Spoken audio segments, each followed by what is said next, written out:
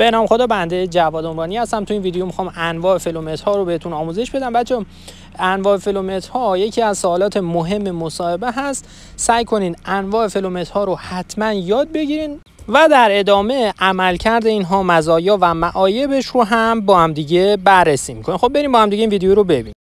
بچه‌ها فلومترها به دو طریق میان اندازهگیری رو انجام میدن یا بر اساس حجمی هست یا که به صورت جرمی هست که در واقع همون والیوم یا mass هستش.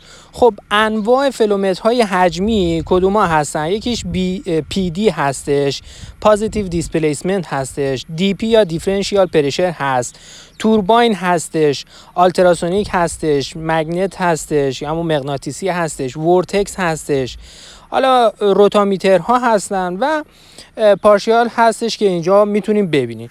و اندازهگیری flow به طریق جرمی هم هستش که Coriolis و thermal هستش. این دسته‌بندی رو حتما یاد بگیرین چون توی مصاحبه از شما می‌پرسن و سوالی هم که هستش به این صورت هستش که اندازهگیری flow به روش مثلا جرمی کدوم هستن که شما باید بگید Coriolis و thermal یا حرارتی هستش.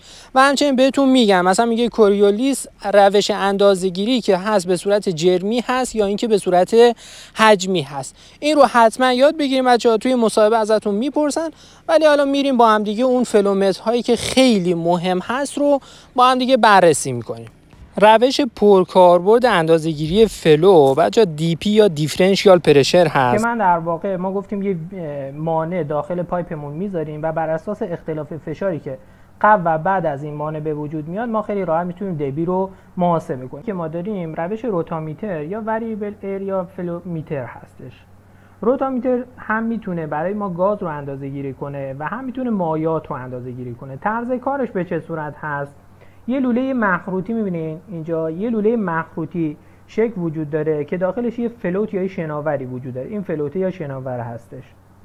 زمانی که سیال از این پایینه میاد اگه نیرویی که سیال وارد می‌کنه به نیروی وزن این غلبه کنه که همون نیروی گراویتی هستش این شناور رو حل میده می‌بره به سمت بالا و سیال از کنار این رد میشه عبور می‌کنه. هر چقدر این سرعت بالاتر باشه این رو بالاتر می‌بره. این فلوتی که اینجا هستش رو بالاتر می‌بره. تا زمانی که نیروی سیال و نیروی وزن به تعادل برسن این بالا میره. زمانی که به تعادل می‌رسه ما اینجا یه نشانگری داریم یه equilibrium یا اینجا هستش که این برای ما نشون میده اون اون حالت تعادل هستش. موقعی که به این تعادل می‌رسه ما اینجا یه نمایشگری داریم یه display داریم که در واقع این رو برای ما نشون میده و ما می‌تونیم میزان flow رو از روی این بخونیم. اینا در واقع یه سری محدودیت ها وجود داره محدودیت flow وجود داره. اینها تا یه محدودیت تا یه محدوده flow ی رو می‌تونن اندازه گیری کنن. از یه حدی که بالاتر بره نمی‌تونن در واقع اندازه گیری کنن. و یه نکته دیگه هم که وجود داره برای این روش rotameter فقط flow رو می‌تونه اندازه گیری کنه. بزرگترین کاربردش روی کپسول های اکسیژنه. این روش rotameter که برای ما flow رو نشون میده بزرگترین کاربردش روی کپسول های اکسیژن هستش.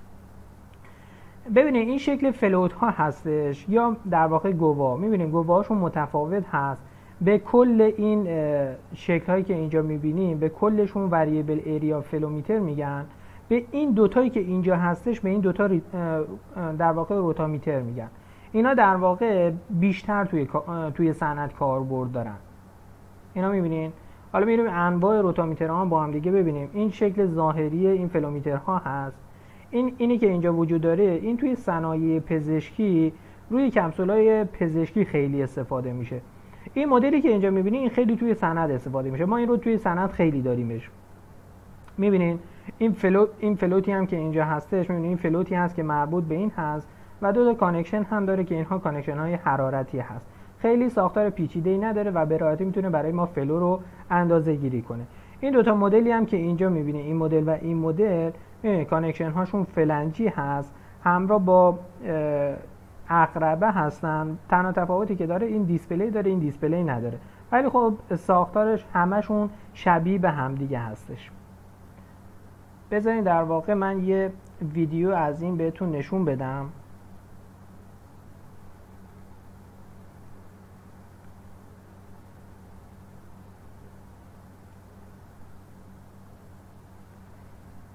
روتامیتر ها هم ببینیم با هم دیگه.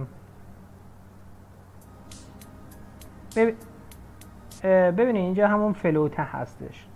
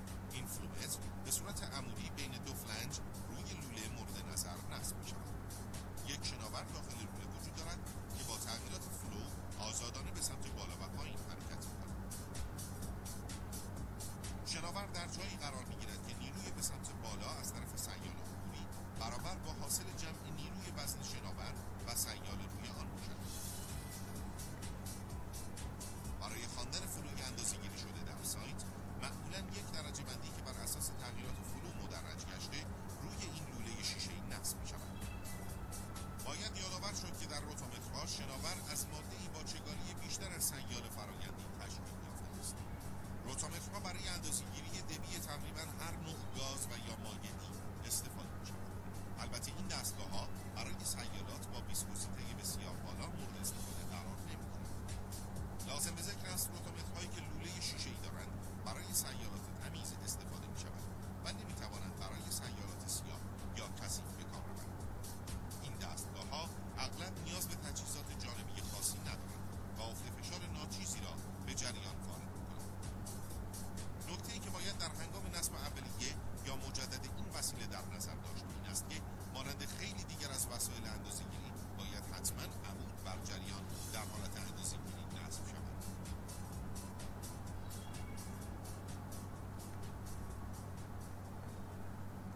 این هم درباره rotameter ها که حالا توی این ویدیو خیلی کامل و واضح نشون داد.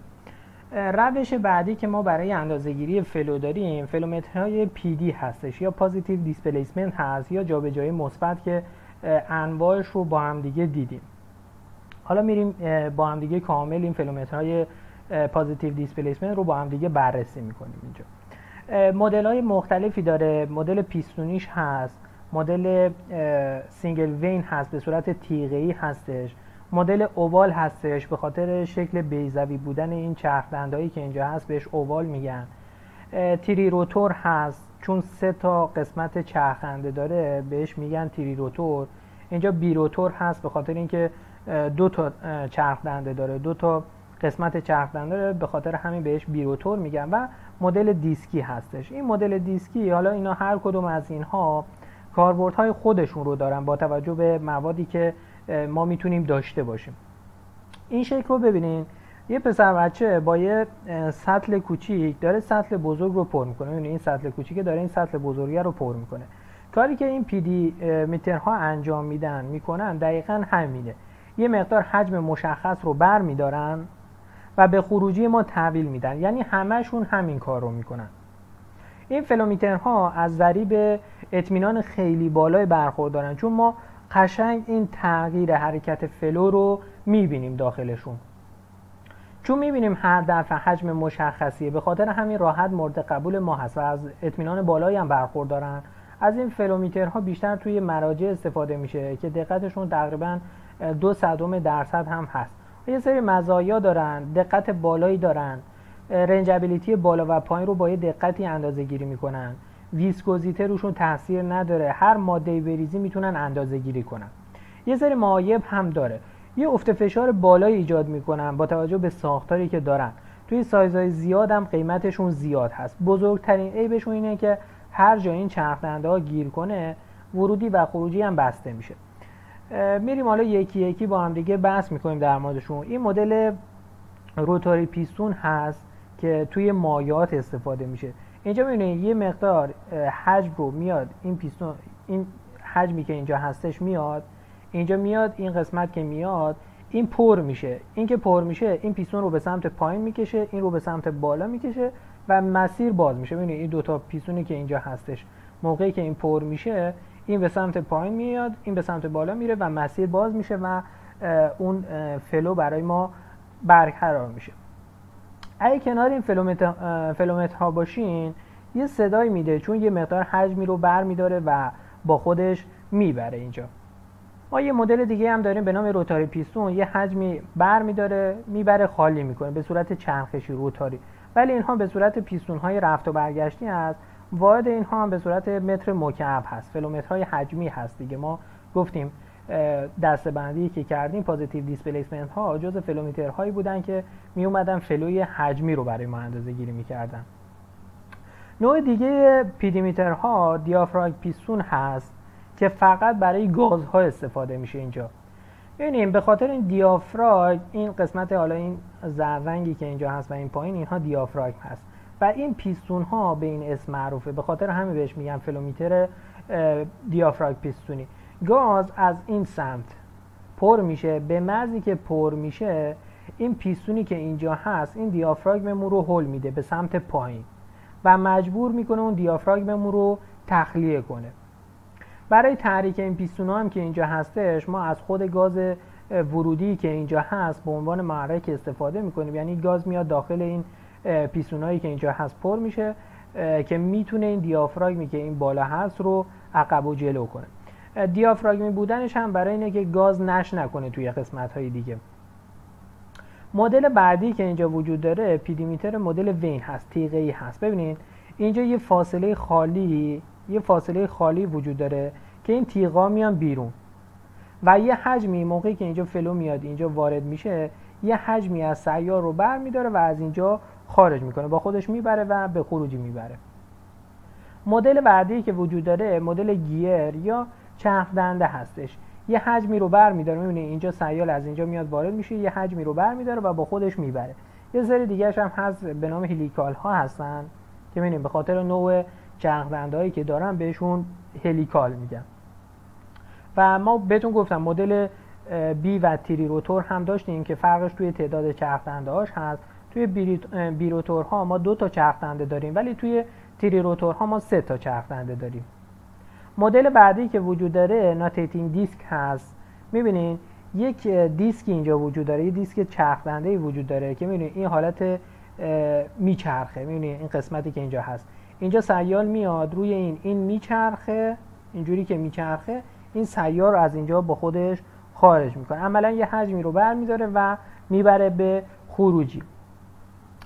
این در واقع شد پس چی؟ PD meter های ما روش بعدی که ما داشتیم flow ی توربینی هست یا turbine flow بهش گفته میشه که اینجا وجود داریم به خاطر این پرهایی که توی می‌بینیم به خاطر این پرهایی که توی فلومیتر قرار داره بهش توربینی میگن. مشابه توربینه به خاطر همین بهش توربین میگن. اسمش رو توربین گذاشتن به خاطر همین هست. خب حالا این چجوری کار می‌کنه؟ اینجا می‌بینید این لوله ای که اینجا هست این بهش شفت میگن. خب ما یه شفتی وجود داره که توربین روی این سوار میشه. می‌بینید این شفتی این میله که اینجا هست بهش شفت میگن.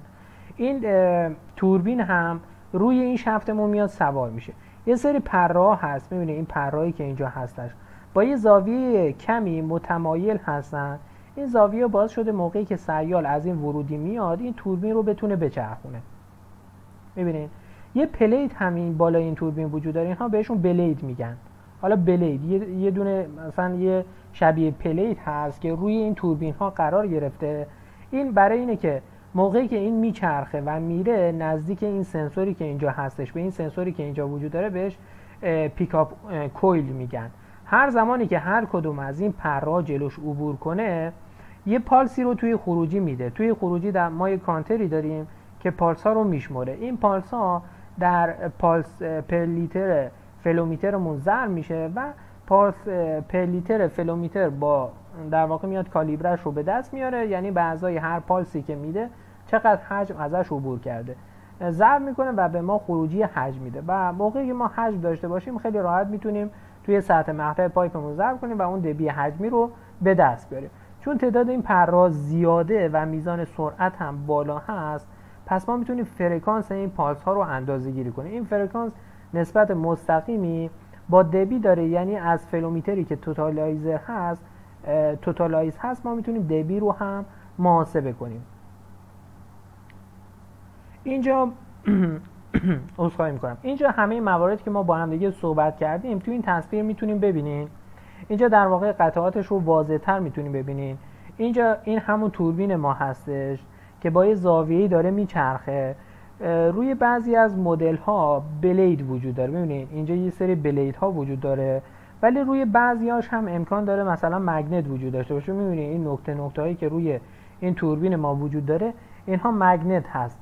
زمانی که آهنربا میاد جلوی کویل خیلی راحت می‌تونه اینها رو تشخیص بده.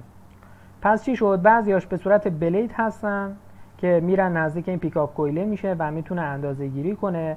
بعضیاش هم به صورت magnet هستن. می‌بینید نقطه نقطه هایی که روی این توربین ما وجود داره خیلی راحت اون coil ه می‌تونه تشخیص بده که در واقع این داره رد میشه ازش.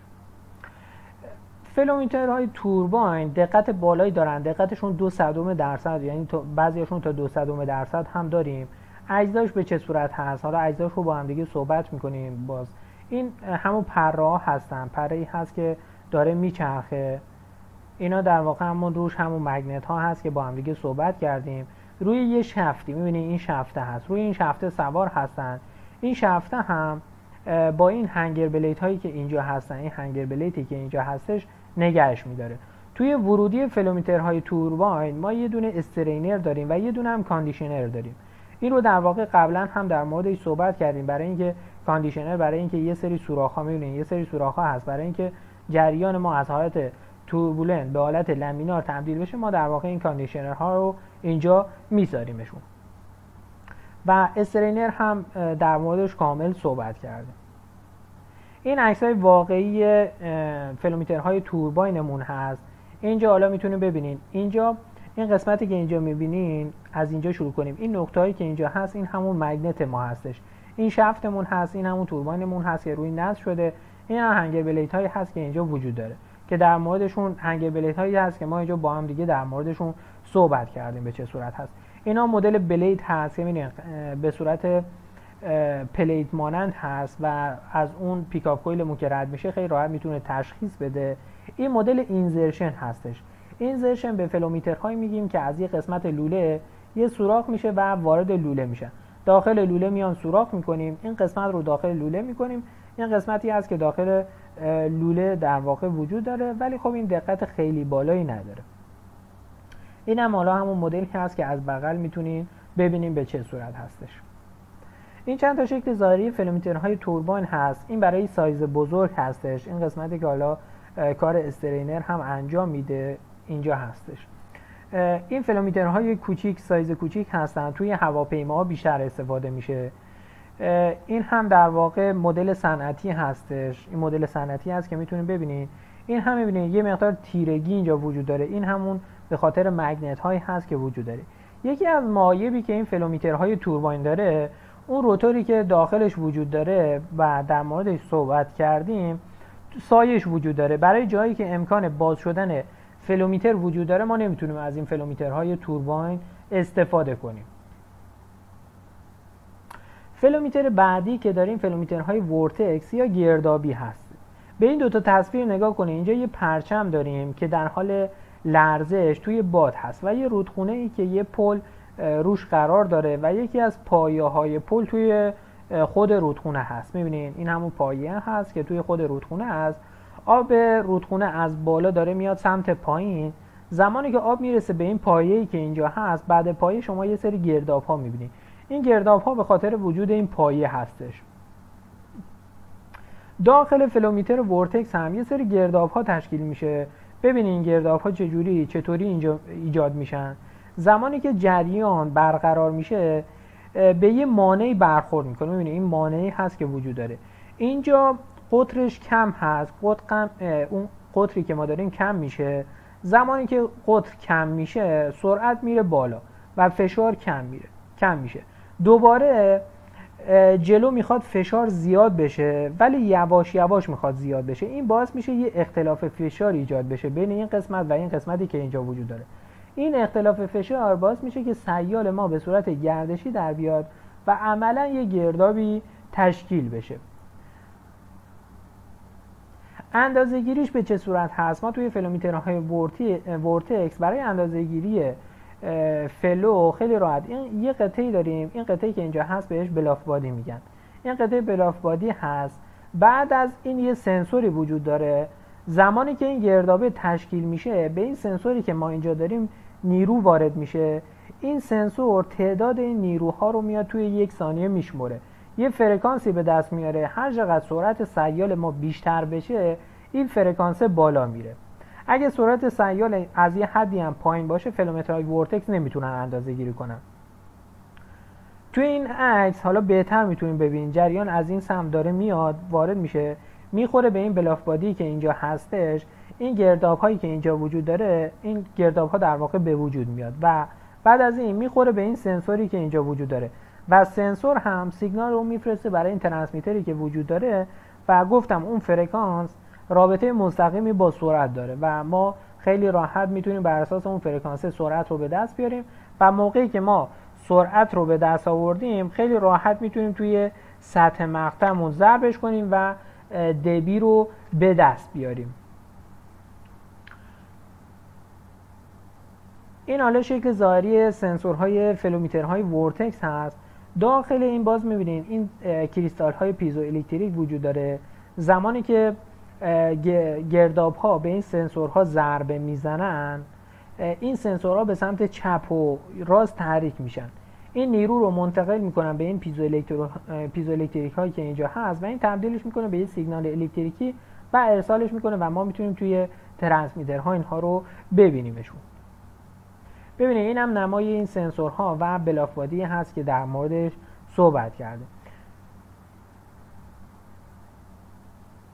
سوالی که اینجا هست flowmeter ی انتخاب کنیم که حجم رو اندازه گیری کنه یا جرم رو. این شرایط فرایندی ما بوده. ببینید flowmeter, flowmeter جرمی که اینجا ما داشتیم در همه حالت ها یک و دو دهم کیلوگرم است. بذار اول من کامل بهتون توضیح بدم. ما اول توی فرایندمون دمامون 20 درجه سانتیگراد بوده. فشارش یک بار بوده و density ما هم یک و دو دهم کیلوگرم بر متر مکعب بوده.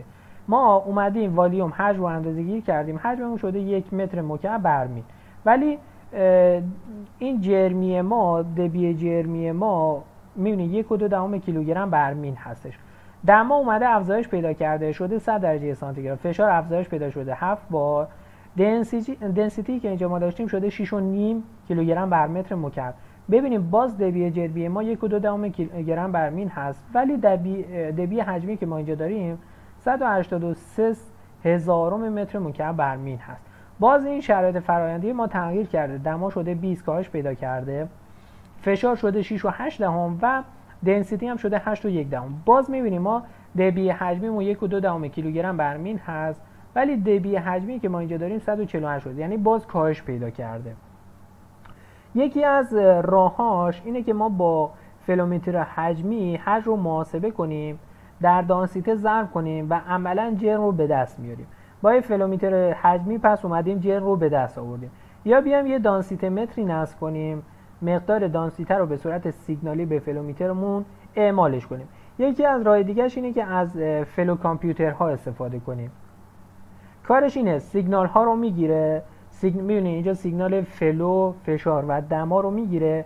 این compensation رو داخل خودش انجام میده و مقدار دانسیته رو خودش محاسبه می‌کنه و flow ی جرمی رو به ما میده. ممکنه flow ی جرمی هم نده. امکان داره نرمال متر مکعب بده. اینجا ما دو تا بذارین اینجا. اینجا ببینید ما دو تا قانون داریم. یکی قانون بویل هست و یکی هم قانون شارل هست. قانون بویل میگه چی؟ میگه در دمای ثابت حجم گاز با فشار نسبت عکس داره. توی قانون شارل حجم گاز با دمای مطلق رابطه مستقیم داره. ببینید ما می‌بینیم فشار و دما تاثیر زیادی روی حجم داره. به خاطر همین بهتر گازها رو ما بیایم جرمی محاسبه کنیم. ما یه flowmeter حجمی داریم یعنی flowmeter جرمی برای اندازهگیری این گاز وجود نداره. حالا باید بیایم چیکار کنیم؟ فرض کنیم مثلا ما یه flowmeter حجمی داریم ولی flowmeter جرمی برای اندازهگیری گاز وجود نداره. ما می‌تونیم بیایم اون رو normalize استانداردش کنیم. پس اینجا نکته توجه کنید. ما ممکنه یه flowmeter حجمی داشته باشیم بخوایم باهاش گاز رو اندازه گیری کنیم. با توجه به این اطلاعاتی که بهتون گفتم اینا میان روی حجم تاثیر می‌ذارن. به خاطر همین ما در واقع کاری که انجام میدیم میایم در واقع normalize استاندارد می‌کنیم. normalize یعنی بیایم یک دما و یک فشار ثابت رو در نظر بگیریم. ما همه گازهامون رو هر نقطه‌ای که می‌خوایم محاسبه کنیم. فشار و دماش رو اندازه گیری می‌کنیم. میایم به یک دما و فشار استاندارد تبدیلش می‌کنیم. توی normalize کردن که حالا یه استاندارد اروپایی هستش ببینید توی دمای 0 درجه سلسیوس و فشار 1013 میلی بار اینجا انجام میشه. و استاندارد کردن هم توی دمای 15 درجه سلسیوس و فشار 1013 میلی بار انجام میشه. توی ایران بیشتر normalize رو انجام میدن. چطوری این کار رو حالا می‌کنیم؟ میایم در واقع اینجا P1 V1 T2 مساوی با P2 V2 T1 هستش. این P یکی که اینجا وجود داره فشاری هست که در حال حاضر در حال اندازه گیریه این V یکی که اینجا هست فلومیتری هست که در حال داره اندازه گیری می‌کنه. این T دوی هم که اینجا هست دمایی هست که ما می‌خوایم normalize ش کنیم.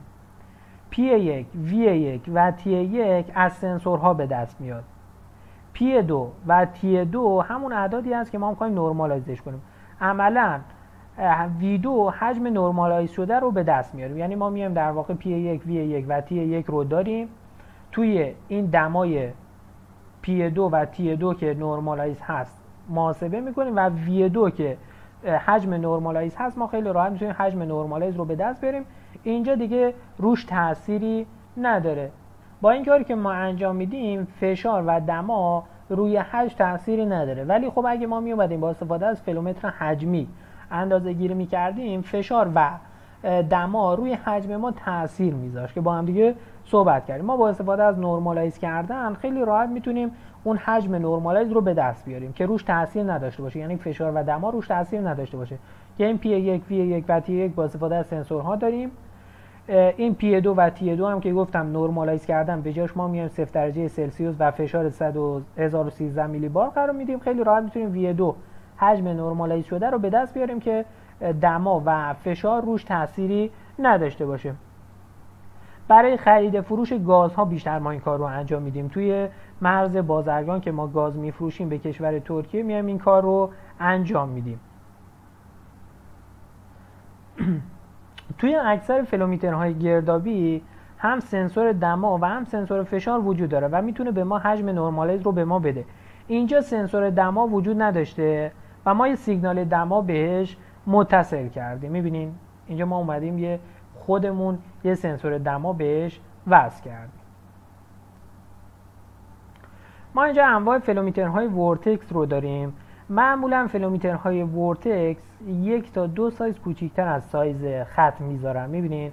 اینجا توی این شکلهایی که می‌بینیم می‌بینین؟ یک تا دو سایز کوچیکتر از سایز خطمون هستش. اینجا خودش به صورت پیشرفته توی خود فلومیتر وجود داره. یعنی این به صورت اتوماتیک هست. اینجا دو تا فلنج داره که ما خودمون وصلش می‌کنیم و بقیه اینها در واقع روی خودش هست. یعنی compact هستش. و نیازی نیست که شما reducer بزنید.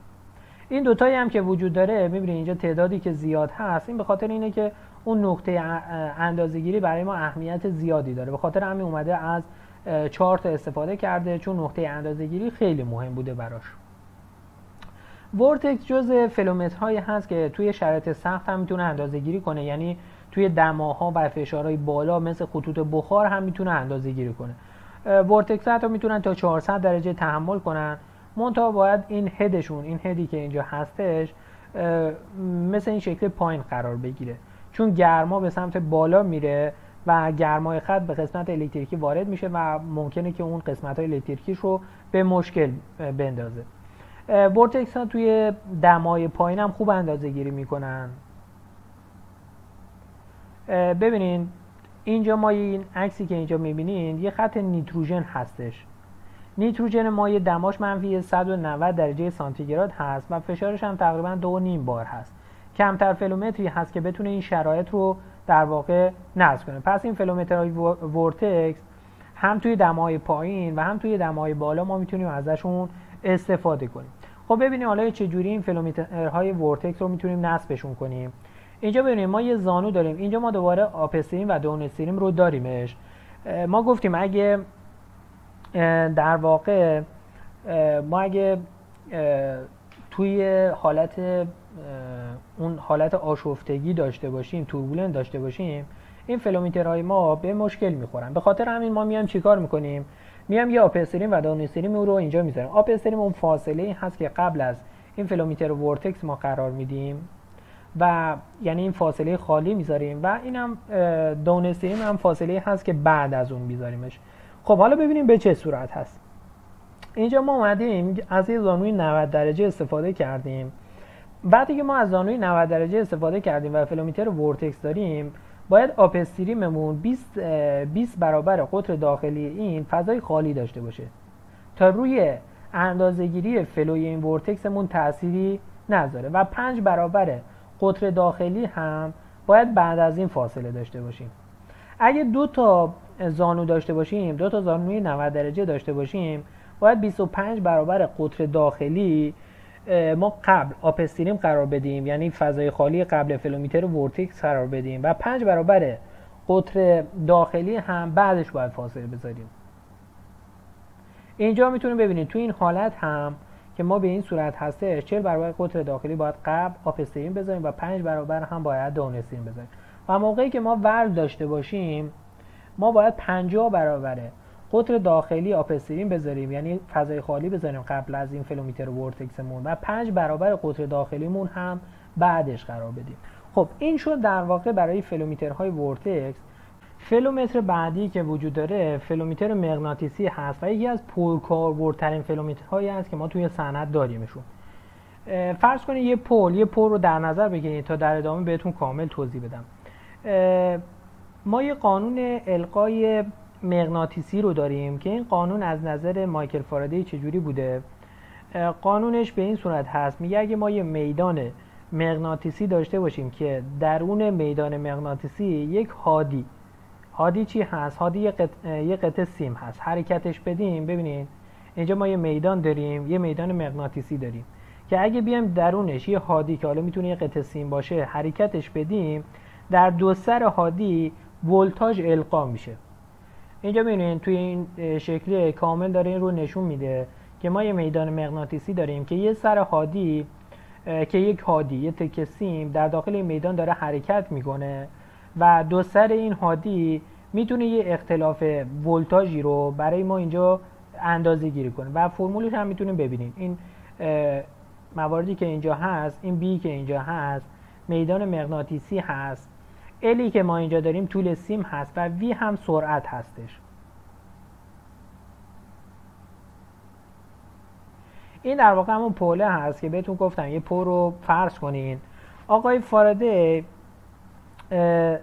نظریهش رو اومد به این صورت کامل کنه. اومد گفت میدان مغناطیسی زمین که به صورت دائم وجود داره و آب رودخونه میشه همون هادیه این رو نتونست اثبات کنه. به خاطر نویز ها نتونست که علتش می‌بینید این نویز هایی که اینجا هستش داره نشون میده این علتش اثرات الکتروشیمیایی یا بارهای استاتیکی بود که توی رودخونه وجود داشت. اینجا ببینید میزان نویز ها رو می‌تونید توی نمودار ببینید. ولی نظریهش کاملا درست بود. خب ما چه جوری ازش استفاده می‌کنیم؟ به عنوان فلومیتر یا سرعت سنج مغناطیسی میام ازش استفاده می‌کنیم. پارامتری که اندازه گیری می‌کنیم عملا سرعت هستش. ببینید یه لوله داریم که توش سیال conductive هست. ما خودمون اومدیم یه میدان اینجا ایجاد کردیم. دو تا سیم پیچ. دو تا سیم پیچ بالا و پایین گذاشتیم و یه میدانی رو ایجاد کردیم. اینجا می‌بینید دو تا الکترود اینجا داریم. این یه الکترود و این هم یه الکترود داریم. دو تا سیم قرار دادیم و ولتاژ رو داریم اندازه گیری می‌کنیم. این ولتاژ هایی که هست اندازه گیری می‌کنیم طبق این فرمولی که اینجا می‌بینیم. میدان ضرب داره طول ضرب داره سرعت. این بتایی که این بی که اینجا هستش میدان رو خودمون وارد کردیم. ال ال یا همون طول که ثابت هست که عملا قطر لوله رو قطر لوله هستش میمونه این سرعتی که اینجا هستش. پس این وی ما سرعت ما با این ولتاژ القایی ما متناسب هستش. ما هر چقدر سرعتمون بیشتر بشه این ولتاژ القایی ما هم بیشتر میشه و برعکسش هم هست. هر چقدر این سرعت ما کمتر بشه این ولتاژ القایی ما هم کمتر میشه. و موقعی که ما این سرعت رو به دست بیاریم خیلی راحت می‌تونیم توی سطح مقطع که همین سطح مقطع لولمون هست ضرب کنیم و دبی رو محاسبه کنیم. برای فلومیترهای مغناطیسی باید حتما سیال داخل لوله conductivity ش در واقع بالاتر از یک باشه. حالا اینجا توی این جدولی که وجود داره می‌بینید این هدایت الکتریکی مربوط به مواد مختلف رو داره نشون میده که می‌بینید اینجا water هست غذا هست process ما هست. تمام اینها رو نشون میده که این ما گفتیم برای فلومترهای مغناطیسی باید حتما سیال داخل لولمون اون conductivity مون بالاتر از یه عددی باشه.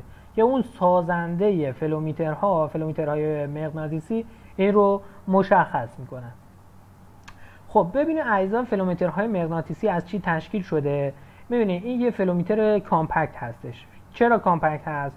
چون اینجا سنسوری که اینجا هستش با قسمت ترانس... ترانسمیتری که اینجا هستش با همدیگه هستش. یعنی به هم چسبیده هستش. به خاطر همین ما میگیم compact. اگه compact میگیم اگه در واقع سنسورمون و قسمت الکترونیکمون از همدیگه جدا باشه بهش remote میگیم. اینم remote ش کجا کاربرد داره؟ فرض کنیم مثلا یه گودال داریم ما این فلومترهای مغناطیسی رو اومدیم توی این گوداله نصبش کردیم. اگه بخوایم در واقع flow رو ببینیم هی باید بریم توی این گوداله و flow رو ببینیم. به خاطر همین ما میام از یه remote استفاده می‌کنیم. اون ترانسمیترمون رو توی فاصله بالای گودالمون نصب می‌کنیم و خیلی راحت اونجا دیگه میایم میبینیمش. دیگه نیازی نیست که ما وارد اون گوداله بشیم. این قسمتی که اینجا هست ببینید این قسمتی که اینجا هست این همون سنسور ما هست. ما دو تا سنسور داریم. توی سنسور توی این سنسورها می‌بینید دو تا coil هست. این قسمت و این قسمت دو تا coil داریم دو تا سیم پیچ هست در واقع. داخل فلومیتر باید عایق باشه. اگه عایق نباشه نمی‌تونه اندازه گیری کنه. معمولا یه لایه عایقی داخل خود فلومیتر وجود داره. دو تا هم الکترود وجود داره. اینجا ببینید الکترود هایی که اینجا هست اینجا یکیش هست. یکیش هم اون سمت هست که هنوز م... اون سمت هست که معلوم نیست. ولی خب ما دو تا الکترود داریم. گفتیم داخل فلومیترها حتما باید عایقه اما عملا با عایق نمی‌تونیم اندازه گیری کنیم اون الکترود هایی که بهشون در واقع این قسمت هایی که بهتون نشون دادم اون الکترود هایی که بهتون نشون دادم رو نمی‌تونیم اندازه گیری کنیم اونها در واقع جنسشون عایق نیست اونها جنسشون هادی هست. حالا میریم چند نمونه از این الکترود ها رو با هم دیگه می‌بینیم که به چه صورت هست. الکترود ها جنس های مختلفی دارن. 80 تا 90 درصدشون از جنس stainless steel هست. بعدش alloy C22 هستش. تانتالیوم هست. پلاتین هست. جنسشون از این موارد می‌تونه باشه. شکل های مختلفی داره. در این حالت استانداردش هست. ببینید استانداردش به این صورت هست. بعضی موقع ها ما می‌خوایم الکترود با سیال بیشتر در تماس باشه که دلیلش اینه که conductivity سیال پایین هست. به خاطر همین سطح مقطع رو افزایش میدیم. می‌بینیم اینجا در واقع سطح مقطع رو اومدیم افزایش دادیم. الکترود brush رو داریم. بیشتر جاهایی نصب میشه که brush وجود داره. توی slurry چون توی slurry یا اون مواد دوغابی چون مواد جامد داخلش ضربه می‌زنه به بدنه فلومیتر و pipe مون در واقع این دوتای قبلی ساییده میشن. اگه ساییده بشه آب میره داخل coil ها و coil های شما رو میسوزنه به خاطر همین ما میایم از brush استفاده می‌کنیم. مدل بعدی که وجود داره الکترود exchangeable هست قابل تعویض هست. یه سیالی مثلا ما داریم خورنده هستش. از این مدل ها استفاده می‌کنیم که خیلی راحت بتونیم تعویضش کنیم. خب یکی از معایب فلومیترهای مغناطیسی اینه که گفتم اگه این دوتا الکترود در واقع تشخیص بدن که در واقع بینشون هادی هست که همون سیال ما هست عملا فلومیتر رو داره اندازه گیری می‌کنه. اگه قبل از این 50 درصد باشه اینجا ببینید این دوتا الکترودی که اینجا هستن در واقع به محضی که برسه به این الکترودها اندازه گیری می‌کنه. نه آلارمی میده نه error ی میده این یکی از مشکل فلومیترهای مغناطیسی بود قبلا البته. چون جدیدا اومدن یه الکترود اینجا نصب کردن یه الکترود در سقف قرار میدن. گفتیم اگه این الکترود اتصال نداشته باشه به این دوتا شما در واقع به ما یه آلارم نمیده. اینجا در واقع می‌بینین الان چون اینجا سه تا هستن خیلی راحت تمام سیالاتی که داخل پایپ باشه رو پوشش میده. که در واقع به اصطلاح به این میگن empty pipe detection electrode بهش میگن. یکی از راهکاراش اینه این الکترودها رو افقی نصب نکنیم به صورت قائم بیایم نصبش کنیم. بیشتر کاربرد این هم توی واحد یوتیلیتی هست. ما اون قسمت پر شدن این قسمت پر شدن لولمون حل شد. ولی این ولتاژی که وجود داره باید نسبت به یه چیزی اندازه گیری کنیم. یه الکترود هم این پایین داریم که بهش الکترود زمین میگن. ما نسبت به این اندازه گیری می‌کنیم. ما اندازه گیری رو نسبت به این اندازه گیری می‌کنیم. اگه فلومیتر زمین نشده باشه به شدت با خطا اندازه گیری میشه. باید همیشه فلومیتر مغناطیسی رو زمین کنید اگه زمین نشده باشه و افراد توی واحد حالا چند متر اون‌ورتر دارن جوشکاری انجام میدن این نویس ها باعث میشه که برد این فلومیتر ما بسوزه. عملا میان فلنج فلومیتر رو به فلنج pipe مون متصل می‌کنن چون خط شما اتصال زمین شده در واقع ولی اگه شما مثلا عایق باشین چیکار می‌کنین؟ میام از این ground disk ها استفاده می‌کنن که میان بین فلومیتر و خط لوله قرار می‌گیرن. بین فلنج ها قرار می‌گیره و با سیال در تماس هست. و شما میان این ground disk ها رو وصل می‌کنه به زمین و الکترود در واقع الکترود reference شما این میشه دیگه. می‌بینین؟ اینها در واقع می‌بینین اومدن اینجا نصب شدن. این هم در واقع همون ground disk ها هست که می‌تونین توی تصویر ببینید خب حالا نحوه نصبشون به چه صورت هست؟ می‌تونین اینجا ببینین. این فلومیترهای مغناطیسی اگه جریانمون از بالا به سمت پایین باشه. در جهت جریان نباید قرار بگیرن می‌بینین اینجا در جهت جریان قرار نمی‌گیرن ولی اگه به سمت بالا باشن می‌تونیم ازشون استفاده کنیم. می‌بینید اینجا جریان ما به سمت بالا هست و ما این فلومتر مغناطیسی رو اینجا اومدیم قرار دادیم. وقتی که ولو داریم و موقعی که پمپ داریم باید پنج برابر قطر داخلی upstream بذاریم و دو برابر قطر داخلی هم بعد از این down بذاریم. این روش هایی هست که برای نصب این فلومیترهای مغناطیسی وجود داره.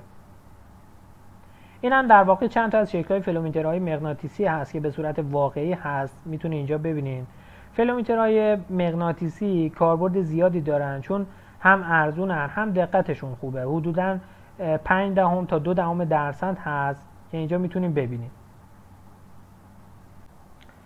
خب روش بعدی که ما داریم فلومیتر ultrasonic هست. این ultrasonic رو توی بحث لول هم کامل توضیح دادیم. دیگه خیلی صحبت نمی کنم در موردش. ما دو تا روش برای اندازهگیری توسط این امواج ultrasonic وجود داره.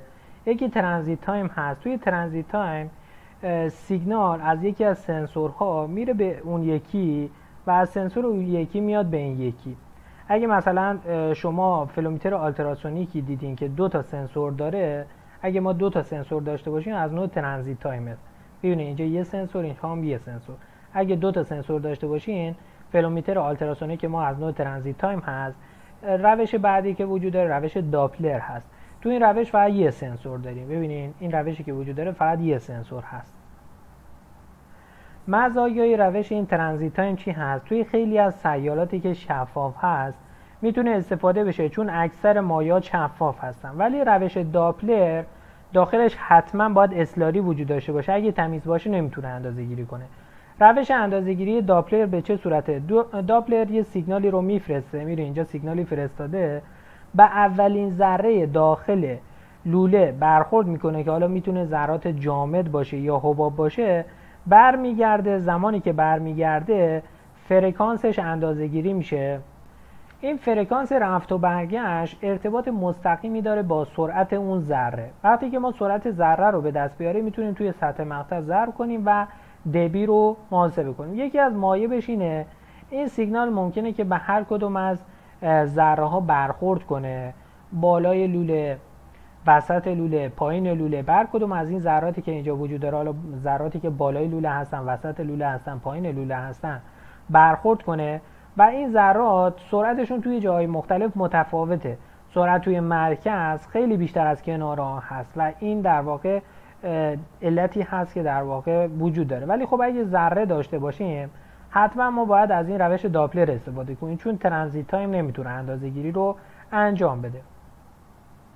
این در واقع همون داپلر هست که می‌بینید به صورت یک یک سنسور وجود داره که این سنسور میاد توی به یکی از این ذرات برخورد می‌کنه. این ذره که وجود داره هر کدومش رفت و برگشتش یه فرکانسی داره. این فرکانس رفت و برگشت ارتباط مستقیمی داره با سرعت که ما میایم این سرعت رو توی سطح مقطع ضرب می‌کنیم و خیلی راحت می‌تونیم دبی رو محاسبه کنیم. فلومیتر ultrasonic به چه صورت عمل می‌کنه؟ توی transit time ما گفتیم دو تا سنسور داریم. این یکی و این هم یکی هست. توی transit time هر کدوم از این سیگنال ها هر کدومشون یه سیگنالی رو برای اون یکی میفرستن. می‌بینین این سیگنالی هستش که در جهت جریان هستش. این سیگنال زرد که اینجا هست این رو میفرسته به این سیگنال این رو میفرسته به این سنسور و این سنسوری که در خلاف جهت هست این سنسور رو میفرسته به اینجا. این سیگنال زرد می‌بینید این در جهت جریان هستش و این سیگنال قرمز رنگی که اینجا هستش در خلاف جهت جریان هستش. خب زمان رسیدن این سیگنال های زرد و قرمز با هم دیگه فرق می‌کنه. چرا؟ چون یکیش در جهت جریان هست یکیش در خلاف جهت جریان هست. این سیگنال زرد رنگی که اینجا هست چون در جهت جریان هست خیلی زودتر می‌رسه به این. چون در جهت جریان هست و این سیگنال قرمز رنگی که هست در خلاف جهت هست خیلی دیرتر میره. این اختلاف زمانی که وجود داره می‌بینید این اختلاف زمانی که وجود داره بین رسیدن اینها نسبت مستقیم داره با سرعت. وقتی که ما این سرعت سیال رو داشته باشیم میایم توی سطح مقطع ضربش می‌کنیم و خیلی راحت می‌تونیم دبی رو محاسبه کنیم. اینجا ببینید اینا دو تا سنسوری هستن که ما داریم. این سنسوره در جهت جریان هست و این سنسوره در خلاف جهت هست. می‌بینید اینجوری داره اون سیگناله رو اینجوری در جهت جریان میفرسته. و این سیگنالی که این سنسوری که اینجا هست سیگنالی رو در جهت خلاف هست. این جهت جریان ما از در خلافش هست. میریم با همدیگه این سیگنال رو فرستادن. این خیلی زودتر داره میفرسته. میرین این زرد کم رنگه. این زرده خیلی زودتر میفرسته. چرا؟ چون در جهت جریان هستش و این در خلاف جهت هست. اینها در واقع با همدیگه یه اختلاف زمانی دارن. این اختلاف زمانه با سرعت رابطه مستقیم داره و موقعی که ما سرعت سیال رو داشته باشیم خیلی راحت می‌تونیم در واقع دبی حجمی رو محاسبه کنیم اینجا در واقع ما همیشه تو اینها یه سری تجهیزاتی وجود داره که این سنسورها رو نگه میداره که بهش holder میگن. این برای زمانی است که سنسورها روی خط نصب میشن. دیگه فلومیتر فلنجی ما نداریمش. داخل این سنسورها یک کریستال پیزوالکتریک وجود داره. می‌بینید این قرمز هایی که اینجا وجود داره؟ اینها در واقع نمای پیزوالکتریک هست که با یه زاویه خاصی قرار داره. که من دیگه در مورد کریستال های پیزوالکتریک در موردشون صحبت نمی کنم که گفتم ما اگه یک کریستال پیزوالکتریک وجود داشته باشیم ولتاژ های همنام بهش pass کنیم اون کریستالمون کوچیک‌تر میشه اون بزرگتر میشه یه ولتاژ AC بهش pass می‌کنیم که این رو هی کوچیک‌تر هی بزرگتر می‌کنه و کامل در موردش توی part قبلی صحبت کرده بودیم. مدل های مختلف فلومترهای ultrasonic داریم. یا در واقع سنسور ما از روی خط وصل میشه؟ می‌بینید اینجا اومده روی خط وصل شده. اینجا میان اینها در واقع روی خط وصل میشن که در واقع بهش clamp on میگن. اینها روی خط نصب میشن. جفت سنسورها هم می‌تونه یه سمت باشه. همه اینها وصل میشن به یه transmitter می‌بینید اینها در واقع نصب میشن به این ترنسمیتری که اینجا وجود داره و برای ما اندازه گیری رو انجام میده. توی در واقع سنسورهای کلمپ آن یک کمربندی وجود داره. یک کمربندی وجود داره که حالا اگه این می‌بینه این کمربندی وجود داره که دور تا دور لوله هست و سنسورها روی این هولدرها نصب میشن. می‌بینین اینها در واقع هولدر هستن. همراه این سنسورهای کلمپ آن ما همیشه کابل وجود داره. یک کابلی وجود داره. خطکش هستش. این هولدرها هست. کمربند هست. و در واقع یک کیفی هست که در واقع تمام این موارد وارد این کیفه میشه. برای نصبش هم خب ببینیم ما این دوتا سنسوری که وجود داره باید با یه فاصله خاصی نصبش کنیم. چون اگه با یه فاصله خاصی نصبش نکنیم مثلا میاد اون سیگنال میفرسته می‌خوره به اونجا به اون سنسور اون یکی نمی‌رسه. به خاطر همین فاصله نصب اینها خیلی مهم هست. برای نصبش ما باید چیکار کنیم؟ ما باید قطر پایپمون ضخامت پایپمون جنس پایپمون سیال داخل پایپمون و یه سری موارد دیگه. توی نرم افزار وارد می‌کنیم به دست میاریم وارد می‌کنیم. به شما میگه که در واقع این سنسورها رو توی چه فاصله باید نصب کنیم؟ با خط‌کش با خطکش میان در واقع حالا اینجا وجود نداره. با خطکش حالا بذاریم اینجا ما نداشتیمش. ببینید اینجا حالا بیرسیم بهتون میگم. با خطکش در واقع میام این فاصله ها رو کنار هم دیگه قرار میدیم و کلمپان ها رو در واقع اون سنسورها رو وصل می‌کنیم و خیلی راحت می‌تونیم روی هولدرها نصب می‌کنیم و خیلی راحت می‌تونیم اندازه گیری رو انجام بدیم. و می‌بینید زمانی که دارین سنسور رو نصب می‌کنیم باید حتما یک coupling gel ی هم بزنین. کارش اینه که فاصله هوایی بین اون محل اندازه گیری و این سنسور رو از بین می‌بره. اینجا می‌بینیم ما یه مدل flow meter ultrasonic transit time داریم. چرا؟ چون دو تا هست دیگه. اینجا یکی و اینجا هم یکی هست. ما گفتیم اگه دو تا سنسور داشته باشیم مدل transit time هست ولی اگه یکی داشته باشیم مدل چی هست؟ Doppler هستش. به صورت insertion اومده نصب شده. insertion چی هست؟ زمانی که ما میایم pipe مون رو سوراخ می‌کنیم و یه قطعه داخلش می‌ذاریم بهش insertion میگن. یه سری محاسبات انجام میدن. علامت گذاری می‌کنن. می‌بینید اینجا علامت گذاری کردن. pipe مون رو میان سوراخ می‌کنن. این holder هایی که اینجا بهتون گفتم رو نصب می‌کنن و این holder ها رو روی line مون جوش میدیم و بعد اون سنسور رو روش وصل می‌کنیم و کابلش رو وصل می‌کنیم به یه transmitter ی که اینجا هست. مدل بعدی که ما داریم مدل دیگه که برای flow meter های ultrasonic transi transition حالا داریم transit time داریم اینه که inline هستن. یه قطعه لوله هستش. که دو طرفش فلنج هست. می‌بینید این فلنج هست و اینجا هم فلنج هست. این فلنج و این هم فلنج هستش. و سنسورها روی این جوش می‌خورن قبلش. این مدل compact ش هست. یعنی چی؟ یعنی اینکه اون سنسورها همراه با اون قسمت الکترونیک یا اون transmitter ی که هست یه جا هستش. در اختیار ما قرار میدم ما روی pipe مون نصب می‌کنیم و برای ما flow رو اندازه گیری می‌کنه. این مدل remote ش هست. که در واقع این pipe ما اون سنسورها اینجا نصب شده و این transmitter هایی هم که هستن با توجه به یک کابلی میان وصل میشن به اونجا. تا خود 2000 تا خود 2000 هم می‌تونن نصب بشن. بر کدوم از این اینها در واقع حالا بریم توی این قسمت توی این قسمت تراورس ها به هر کدوم از این رفت ها ما میگیم تراورس. خب این مدل یه تراورس هست که می‌بینید برای قطب‌های خیلی پایین استفاده میشه. می‌بینید یه سنسور اینجا هست یه سنسور اینجا هستش. این بهش traverse گفته میشه. مدل دو traverse ی که اینجا هستش برای چی هست؟ برای pipe هایی هست که قطرشون 50 تا 600 هستش. اینا برای موقعی هست که قطر ما بیشتر از 600 هستش. این برای 50 تا 600 هستش و 4 traverse هم که اینجا هستش اگه قطر ما کمتر از 50 باشه از این 4 traverse ه میایم استفاده می‌کنیم. خب راه اندازی فیلومتر آلتراسونیک به چه صورت هست؟ ما باید یه سری کارها انجام بدیم یه سری پارامترها به نرم افزار بدیم بعد ازش می‌خوایم که فاصله رو به ما بده. حالا چرا فاصله برای ما مهم هست؟ برای اینکه ببینین این زاویه درست نصب بشه که سیگنال رو درست بره بخوره پایین و برگرده. اگه ما این فاصله رو درست تنظیم نکنیم این سیگنالی که هست درست نمیره پایین و برگرده و سنسور دریافتش کنه. به خاطر همین این فاصله برای ما خیلی مهم هست.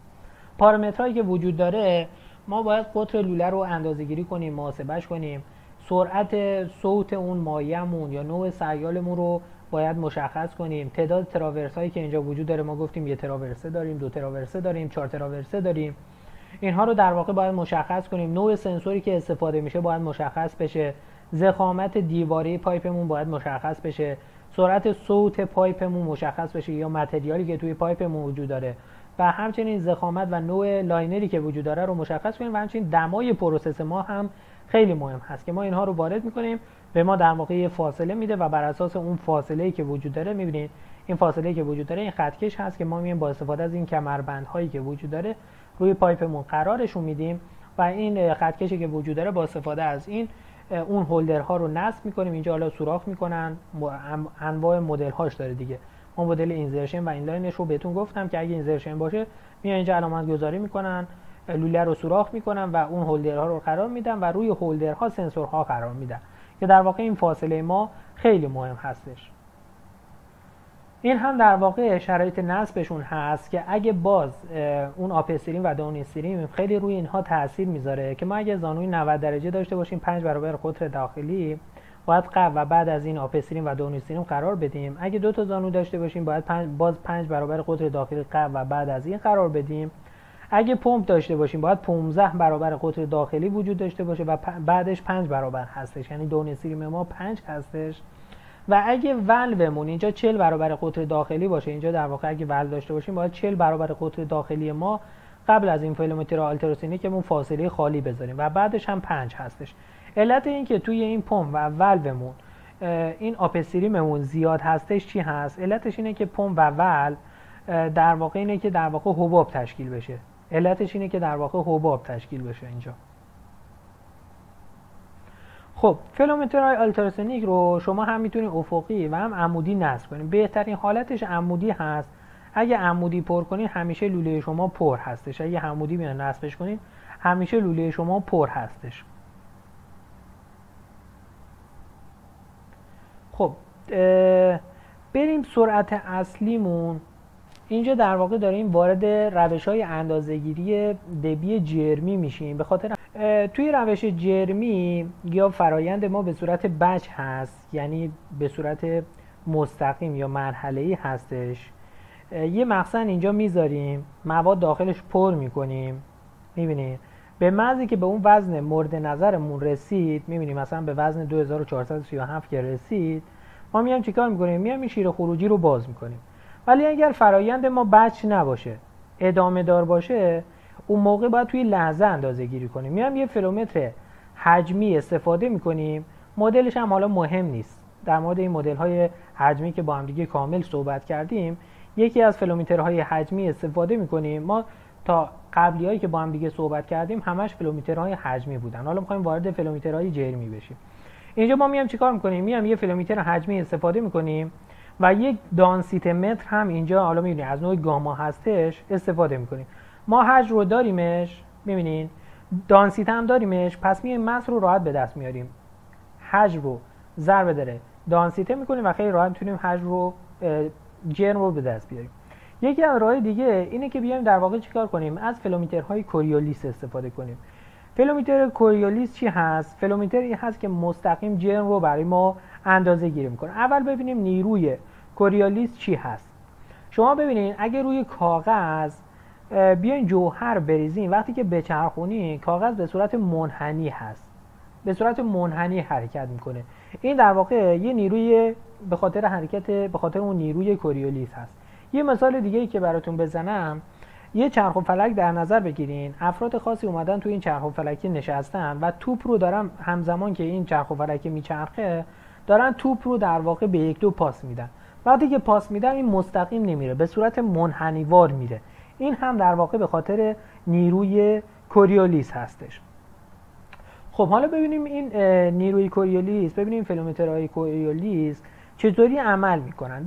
داخل این فیلومترهای کوریولیس دو تا تیوب وجود داره. می‌بینید این تیوپه وجود داره و این تیوپه وجود داره. وسطش یه اسیلاتور وجود داره. اسیلاتور در واقع کار خاصی نمی‌کنه. فقط این دوتا تیوپه که اینجا هستن رو میاد به لرزش در میاره. با همون فرکانسی که ما می‌خوایم در واقع دو تا سنسور دو تا سنسور هم وجود داره در دو طرفین. دو تا سنسور وجود داره که این tube ها زمانی که در واقع flow نیستش می‌بینید الان اینجا flow نیستش. زمانی که ما flow نداشته باشیم این دوتا سنسوره دارن با یه فرکانس با یه فرکانسی عقب جلو میشن با فرکانس یکسان عقب جلو میشن. و نمودارش هم می‌بینین روی همدیگه هستن.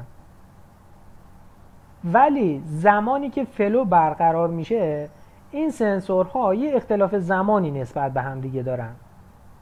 و این اختلاف فاز بین سنسور A و B که به وجود میاد این اختلاف فاز نسبت مستقیم داره با دبی جرمی. چه چیزی این اختلاف فاز رو به وجود میاره؟ همون نیروی کوریولیسه کوریولیس یکی از با دقت ترین ها و گرون، گرونترین ها هم هست حتی. تا 5 صدم درصد می‌تونه برای ما اندازه accuracy ش 5 صدم درصد هست. ولی خب محدودیت سایز هم داره. تا 12 اینچ بیشتر نداریم ما. این فلومیترهای کوریولیس علاوه بر دبی جرمی دما رو هم برای ما اندازه گیری می‌کنه. یه سنسور دما داخلش هست و دمای سیال رو هم اندازه گیری می‌کنه. دانسیته رو هم می‌تونه اندازه گیری کنه که با استفاده از فرکانس رزونانس هست. ما الان دما رو داریم دانسیته رو داریم دبی جرمی هم داریم. می‌تونیم والیوم یا حجم رو هم اندازه گیری کنیم. یعنی دبی جرمی تقسیم بر دانسیته کنیم خیلی راحت می‌تونیم دبی حجمی رو هم به دست بیاریم. یکی از دلایل گرونی این فلومیترهای کوریولیس همینه. پارامترهایی هست که می‌تونه اندازه گیری کنه. خب چرا سنسور دما داره؟ چون میزان نرمی و سفتی این لوله ها توی اندازه گیری ما تاثیر داره. نوع سنسور دماش هم RTD PT100 هستش. خب حالا ببینید اجزای این فلومیتر کوریولیس به چه صورت هست؟ یه قسمت سنسور هست می‌بینید اینجا قسمت سنسور هستش. یه قسمت transmitter هست که می‌تونه remote یا compact باشه که ما گفتیم compact اگه اون سنسورمون و transmitter مون همراه با همدیگه باشه روی همدیگه باشه یعنی به همدیگه وصل باشه حالت compact هستش و اگه remote باشه یعنی از همدیگه جدا هستش. دو طرف سنسور ما یه process connection ی وجود داره می‌بینین؟ این قسمت و این قسمت وجود داره. یه tube ی داریم که اینجا از ابتدا تا انتها رفته. این حالا مدل تک tube ش هست. یه oscillator هستش می‌بینین؟ اینجا یه oscillator داریم که این در واقع وظیفش اینه که بیاد اون pipe ها رو بلرزونه. دو تا سنسور هم ما در طرفین این دوتا داریم. حالا شما لوله رو نمی‌بینین چون داخل ببینید اینجا شما لوله رو اینجا نمی‌بینین چون این داخل یه محفظه secondary هستش ثانویه هستش. داخل این محفظه که وجود داره لوله هست سنسور دما هست oscillator هستش دو تا سنسور کوریولیس هست و کل این قسمت ها رو اومدیم با نیتروژن پر کردیم این نیتروژنی که اینجا هست کارش چی هست؟ نیتروژن برای اینکه سنسورها هیچ واکنشی ندن حالا مثلا سولفات یا گرد و خاک واردش نشه که توی اندازه گیری تاثیر نذاره در واقع میان رو با نیتروژن پرش می‌کنن.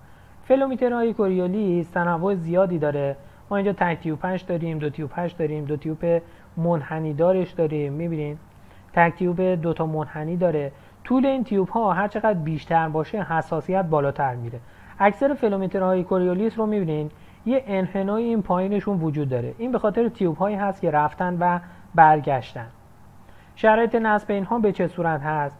اینجا در واقع آپستریم و دانوستریم نداریم چون حساس نیستن.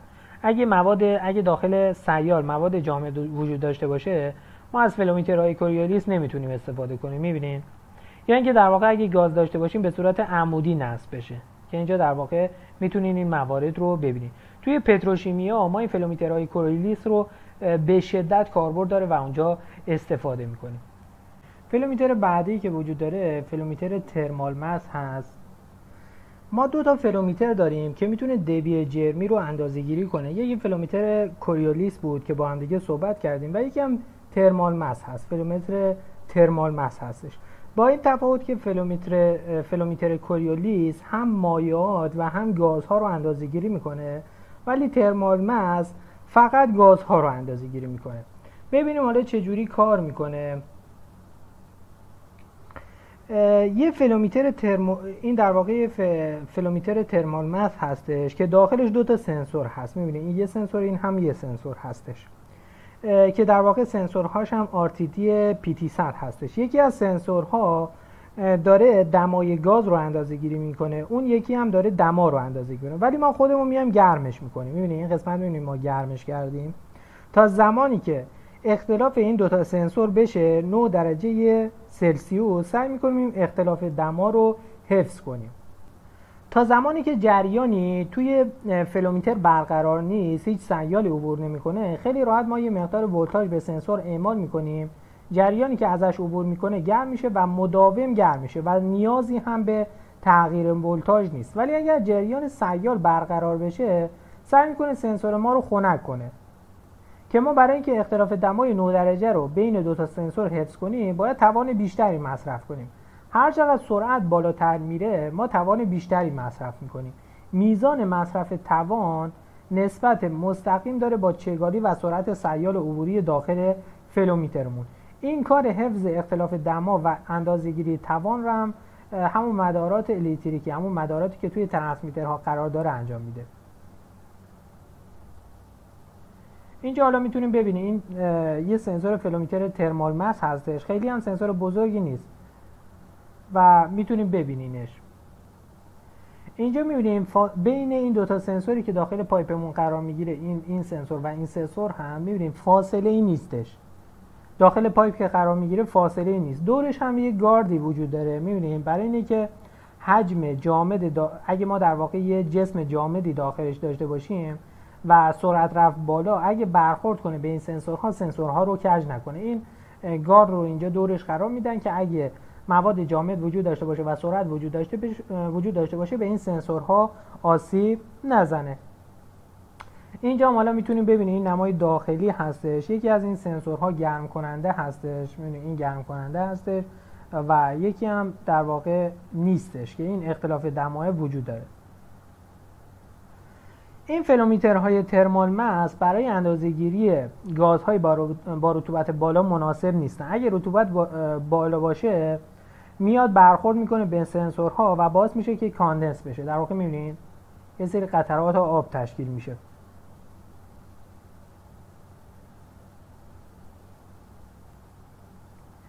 اینجا در واقع ببینید ما انواع flow meter های thermal داریم. دو تا نوع هستن. یکی insertion هستن که داخل pipe قرار می‌گیرن. می‌بینید اینجا داخل pipe قرار می‌گیرن. یا در واقع inline هستن که به صورت فلنجی هستن. گازهایی که می‌تونه این flow meter های thermal mass اندازه گیری کنه به چه صورت هست؟ گازهایی که توی range کاری flow meter هستن و به راحتی قابل اندازه گیری هستن هوا هست اکسیژن هست نیتروژن هست CO2 هست آرگون هست و متان هست. اینها رو در واقع توی range کاری flow meter های thermal mass هست و به راحتی می‌تونه اندازه گیری کنه. بعضی از گازها هستن که باید شرایط فرایندیشون بررسی بشه. مثل فشارشون مثل رطوبت مثل دبیشون می‌تونه در واقع باید در نظر گرفته باشه تا بتونه اندازه گیری کنه. که می‌بینید نشاد گاز هست بایوگاز هست هیدروژن هست هلیوم هست بوتان هست پروپان هست که اینها در واقع باید در نظر گرفته باشه.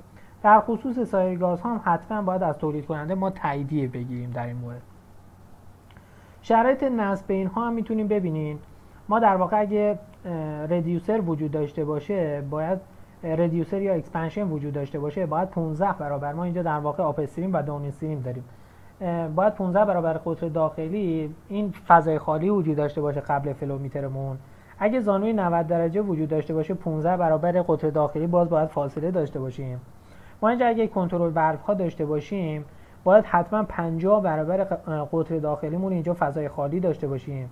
یا اینکه در واقع ما در واقع اگه حتی conditioner هم استفاده بشه باید در واقع یه upstream ی در نظر بگیریم که اینجا دو برابر قطر داخلی ما باید حتما چون ما گفتیم موقعی که از conditioner استفاده می‌کنیم در واقع اون تمام turbulence ما رو laminar نمی‌کنه. اینجا در واقع باز ما باید یه آپستریمی رو در نظر بگیریم. مرسی از توجهتون. این هم در واقع برای سنسورهای اندازهگیری فلو بود.